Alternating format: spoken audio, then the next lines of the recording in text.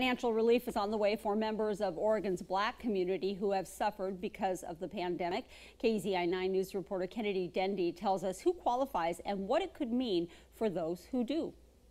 Oregon has received nearly $1.4 billion of COVID 19 funding from the federal government. And now there's a fund created by a group of black lawmakers and business leaders to lend a helping hand to one demographic, who, according to statistics, have been disproportionately affected by the pandemic. We're a very small percentage here, and often even the committees and groups that make these determining factors, they often don't look like us. It's called the Oregon Cares Fund, and $62 million from the state will be given to black community members who need relief during this pandemic.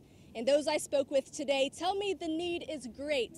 Andre Royal Sr. is a father and entrepreneur here in Eugene. He says the pandemic has taken a toll on his life as well as many others in the black community. When the community is doing well, whatever the demographic it is, we have an opportunity to share and give back.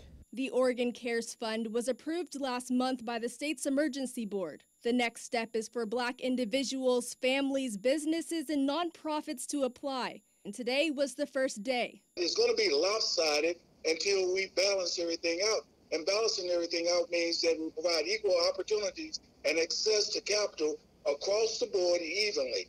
He said that his hope is for a state that's all inclusive, where everyone has a chance to thrive. Grants range from $1,000 to $3,000, and the amount depends on how hard a person or business has been hit. Stay encouraged um, and uh, keep encouraging. Grant decisions are made by 11 black leaders on the Council of Trust, as well as two nonprofit organizations working hand in hand. Reporting in Eugene, Kennedy Dendy, KEZI 9 News.